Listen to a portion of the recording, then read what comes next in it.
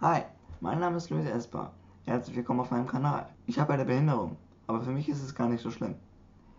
Wie ich damit umgehe und wie mein Leben aussieht, das erfahrt ihr hier.